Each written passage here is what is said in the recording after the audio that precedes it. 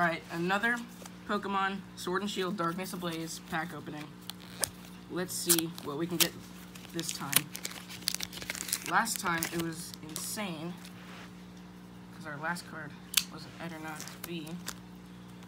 That was real nice. Okay. Don't want to cut the cards. Alright. Open that up. Code card. One, two, three, four. To the front. And let's go. Fire Energy. Bird Keeper. Steenee. Furret! We got a Furret. Rowlet.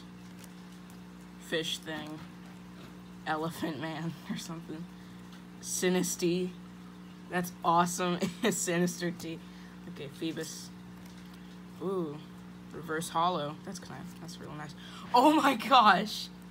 Yo! This is awesome. Holy crap.